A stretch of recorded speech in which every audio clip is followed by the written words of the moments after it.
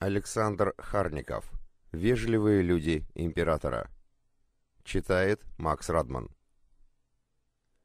Автор благодарит за помощь и поддержку Макса Д., он же Road Warrior, и Олега Васильевича Ильина.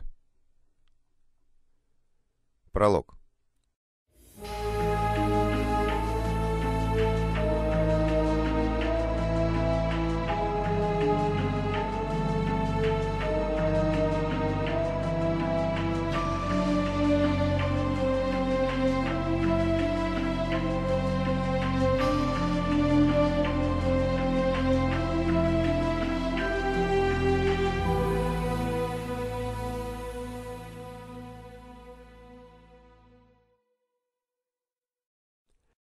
Давным-давно, на том месте, где через века появится Санкт-Петербург, простирались непролазные болота и рос вековой лес. Вдоль Невы, в небольших деревушках, жили коренные обитатели этих мест, и жоры. Они были язычниками и поклонялись своим богам, обитавшим в деревьях и камнях. Жрецы Арбуи с помощью волшебных заклинаний беседовали с богами и духами, добрыми и злыми, получали от них мудрые советы и предсказания. Богам и духам и жоры по праздникам приносили жертвы, добытую в лесах дичь, пойманную в Неве и в Ладоге рыбу и другие дары здешней скудной северной земли. Но среди множества языческих богов был камень-чародей, чей дух требовал совсем другие жертвы. Звался этот камень Атаканом. Ему не нужны были зайцы, утки и щуки – Ему нужна была теплая человеческая кровь. А если камень этот вовремя не окропляли кровью, то на ижорские деревеньки обрушивались страшные напасти, болезни, голод, нашествия безжалостных врагов. И ижоры вынуждены были убивать на этом камне людей, захваченных во время войн и набегов пленных, окропляя горячей кровью его заросшие ржавым хом бока. Шло время, и Атакан становился все более и более ненасытен. Он требовал все новые и новые жертвы. Пленных уже не хватало, поэтому и жоры начали приносить в жертвы кровавому камню своих сородичей, и ничего с этим поделать было невозможно. И жоры плакали, горевали, а потом взмолились перед духом Невы кормилицы и попросили ее спасти их, бедных, от гнева ненасытного Атакана. Сжалилась над ними река, изменила свое русло и погребла в пучине глубоких вод своих страшный камень. Обрадовались и горячо поблагодарили матушку Неву. Только радость их оказалась преждевременной. Атакан начал мстить людям за то, что они перестали приносить ему жертвы. В том месте на Неве, где на дне реки навек упокоился кровавый камень, стали происходить страшные вещи. То лодка с рыбаками опрокинется, и люди, запутавшиеся в сетях, пойдут ко дну, то моряк с проходящего по Неве купеческого судна свалится за борт и утонет, то стирающая на реке белье женщина ни с того ни с сего упадет с мостков в воду и захлебнется. Шли века, менялась жизнь на землях племени Ижор. Отшумели, отгремели жестокие сражения Северной войны, и на берегах Невы волею русского царя Петра Алексеевича из тьмы лесов и топи блат вознесся пышно, горделиво, огромный город, ставший новой столицей Российской империи. А в том месте, где на дне Невы лежал кровожадный камень Атакан, проложили переправу, соединяющую Новгородский тракт с дорогой на Выборг. В 1786 году, в царствование императрицы Екатерины Великой, здесь навели Воскресенский плашкоотный мост. Страшный же камень продолжал собирать свои жертвы. Шепотом местный люд рассказывал, что в полнолуние на Неве, в том месте, где на дне реки лежал Атакан, Вдруг появлялся черный водоворот, который втягивал в себя не только людей и животных, но и свет ночных звезд и луны. А из водоворота вылазила всякая нечисть, измывавшаяся над православным людом, поганые рожи корчила, да сравные слова кричала. Привлекал таинственный черный водоворот и самоубийц, которых словно магнитом тянуло в эти гиблые места. Во времена императора Александра II Освободителя на этом месте начали строить постоянный каменный мост. И вот, в сентябре 1876 года полужидкий грунт прорвался в Кессон, где работали 28 человек, строителей моста. Пятеро из них погибли. Через год на том же самом месте произошел взрыв. Массивный потолок кессона отбросило далеко в сторону. Девять рабочих, находившихся наверху, этим взрывом убило на месте. Илистый грунт хлынул в кессон и затопил работавших в нем людей. Ликвидация последствий этой катастрофы длилась около года. Летом 1878 года с того гиблого места извлекли 20 мертвых тел. Причину взрыва так и не удалось выяснить. В 1879 году мост наконец торжественно открыли. Он был назван в честь императора Александра II и получил имя Александровского. А через некоторое время на нем стали пропадать люди. Не гибнуть, а просто бесследно исчезать, словно их никогда и не было. Знатоки петербургских тайн рассказывали, что мост, который после революции переименовали в Литейный, в полнолуние окутывает таинственный желтый туман, и вошедшие в него люди пропадают неведомо куда. Какая-то колдовская сила забрасывает их в иные времена, в иные земли, откуда никому назад ходу не было. Правда это или нет – никто точно сказать не мог.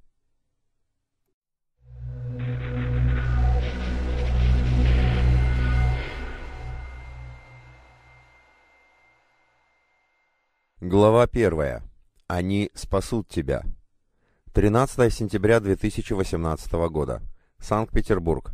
Набережная Робеспьера. Василий Васильевич Патрикеев, журналист и историк. Интересно, Почему так темно на улице? Если верить календарю, то на дворе должно быть полнолуние. Но на небе не видно ни звезд, ни луны. Да и свет от фонарей на набережной Робеспьера какой-то странный, словно неземной. Чудеса, да и только.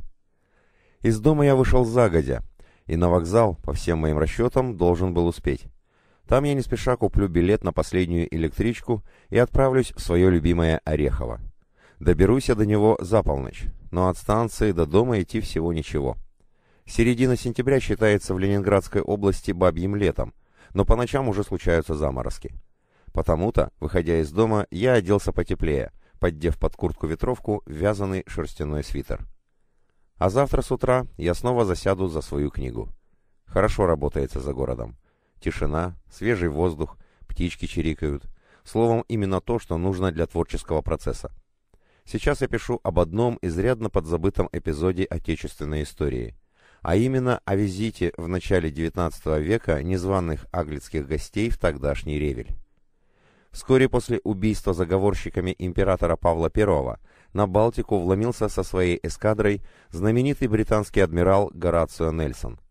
2 апреля 1801 года он без объявления войны напал на Копенгаген, разгромил датский флот и обстрелял городские кварталы столицы королевства. Следующей его целью должен был стать Ревель. Но там Нельсону не удалось повторить то, что он сотворил в Копенгагене. И пришлось однорукому британскому флотоводцу неуклюже попытаться выдать вторжение в российский порт за визит вежливости. Хороша вежливость, наведенные на город и порт пушки и морские пехотинцы на борту английских линейных кораблей и фрегатов. Какое интересное было тогда время. Если бы заговор графа Палина и братьев Зубовых провалился, и император Павел I остался бы жив, то история России могла пойти по совсем другому пути. Не было бы войн с Наполеоном, Аустрелица, Прeuссиш-Элау, Фридланда, Тильзитского мира, битвы на Бородинском поле, сожженной Москвы, гибели сотен тысяч людей, кровопролитных сражений за пределами России, битвы народов под Лейпцигом и взятия Парижа. А ведь император Павел Петрович сделал тогда правильный вывод из ошибок, допущенных им во время войны с французской директорией. Он убедился, что так называемые союзники России используют русские войска только как пушечное мясо, а в случае, когда им это выгодно, преспокойно предают варваров-московитов. Все необходимое для моей работы заранее скачано на флешку, а несколько книг, справочников, лежат в дипломате. Там же находится и мой ноутбук. Что мне еще надо? Да, в общем-то, ничего. Кое-что из еды есть в холодильнике на даче. Ну а если и захочется чего-нибудь вкусненького, то все необходимое можно без особых проблем купить в местном сельпо. Однако хорошо быть пенсионером. Вот уже третий год подряд я не спешу по утрам в редакцию и полностью волен в своих поступках. Хотя, если честно, то порой я сильно скучаю по работе. Журналист – профессия мобильная. Мне пришлось поездить по стране, побывать во многих горячих точках. В лихие 90-е довелось поработать в СМИ в качестве репортера, освещавшего работу правоохранительных органов. С той поры у меня появилось немало хороших знакомых в этих самых органах. Правда, некоторые из них, как и я, уже на заслуженном отдыхе. Других нет в живых. А некоторые до сих пор продолжают трудиться на своих постах. Но журналистикой я теперь занимаюсь, что называется, не выходя из дома. Работаю с материалами по истории России и мечтаю написать книгу, в которой попытаюсь разрушить некоторые устоявшиеся мифы и стереотипы о славном прошлом нашей Родины. Вот впереди уже показались изящные пролеты Литейного моста с его узорчатыми чугунными перилами. Осталось лишь пересечь Неву, свернуть на Арсенальную набережную и, продефилировав мимо Ильича, стоящего на броневике с протянутой рукой, войти в кассовый зал финляндского вокзала. Неожиданно в глазах у меня потемнело. Со мной такое порой случается, гипертония дает о себе знать. Но то, что происходило сейчас, меньше всего было похоже на обычный гипертонический криз. Вокруг меня вдруг все завертелось и закрутилось с бешеной скоростью. Я почувствовал, что проваливаюсь в огромную черную воронку. Неведомая сила подхватила меня как пушинку и потащила в бездонную дыру, разинувшую страшную пасть рядом с опорами литейного моста. В ушах раздался адский хохот. На какое-то время я потерял сознание. Очнулся я от холода. Я сидел на снегу, хотя всего несколько минут назад снега и в помине не было, а на газонах зеленела слегка пожухлая от ночных заморозков трава. Все вокруг выглядело так, словно из сентября я перенесся в январь или февраль. В окружающем меня мире все неожиданно изменилось. Куда-то пропал Литейный мост, не видно было силуэта финляндского вокзала, гостиницы «Санкт-Петербург» и корпусов военно-медицинской академии. Местность показалась странно знакомой, но где я ее раньше видел, мне так и не удалось вспомнить. В шагах в ста от меня стояли какие-то машины, три из них были «Тиграми», бронированными машинами силовиков. А рядом с закамуфлированными «Тиграми» стоял тентованный грузовичок, а еще одна машина, судя по синей мигалке и канареечному цвету кузова, была скорой. Вокруг них мелькали силуэты людей. Кряхтя и охая, я поднялся с земли, отряхнул снег с одежды и, слегка прихрамывая, направился к машинам. Люди вокруг них, что-то горячо и эмоционально обсуждавшие, заметив меня, словно по команде замолкли. Оба-на! А тут, похоже, находятся ребята из системы.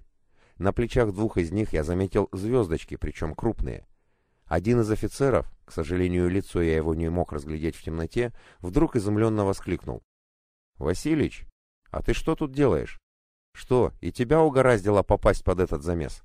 Может быть, ты подскажешь нам, что это было и куда мы попали?» Я узнал по голосу своего старого знакомого, подполковника Михайлова из Питерского града. Мы познакомились с ним много лет назад, во вторую Чечню, под Аргуном. Тогда он был еще старшим лейтенантом. Позднее мы не раз с ним встречались, как во время официальных мероприятий, так и в частном порядке. «Ничего не могу понять, Игорек», — ответил я.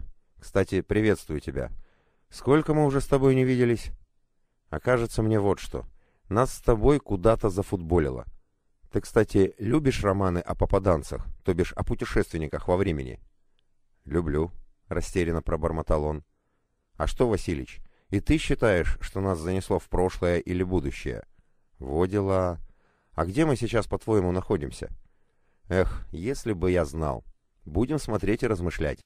Ясно только, что на дворе зима, и что мы в прошлом. Больше я тебе ничего точно сказать не могу. Хотя, я внимательно огляделся вокруг, кажется, начинаю догадываться». 13 сентября 2018 года. Санкт-Петербург. Литейный проспект. Подполковник ФСБ Михайлов Игорь Викторович. РССН у ФСБ по Санкт-Петербургу и Ленинградской области. Град.